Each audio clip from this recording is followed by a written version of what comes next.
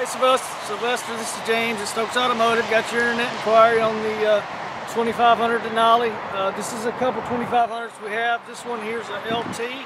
Um, this is actually a Chevrolet, not a GMC. It's a high country package, uh, loaded up, really cool looking truck.